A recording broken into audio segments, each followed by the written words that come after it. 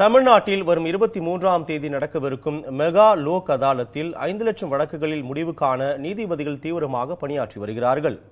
India முழுவதும் வரும் இருபத்தி மூன்றாம் தேதி மெகா லோக் அதாலத் என்ற மக்கள் மன்ற கூட்டத்தை நடத்துமாறு உச்ச நீதிமன்ற தலைமை நீதிபதி சதாசிவம் உத்தரவிட்டுள்ளார்.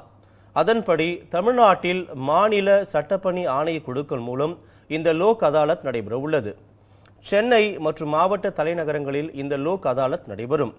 இந்த பணியில் உள்ள நீதிபதிகள் ஓய்வு பெற்ற நீதிபதிகள் பணியாற்றுவார்கள் என்றும் ஐந்து லட்சம் வழக்குகளில் தீர்வு காண ஏற்பாடு செய்யப்பட்டுள்ளதாகவும் தெரிய வருகிறது குடும்ப நல வழக்குகள் செக் மோசடி விபத்து இழப்பீடு உள்ளிட்ட பதினெட்டு வகையான வழக்குகள் இதில் விசாரணைக்கு எடுத்துக் கொள்ளப்படும் என்றும் அறிவிக்கப்பட்டுள்ளது.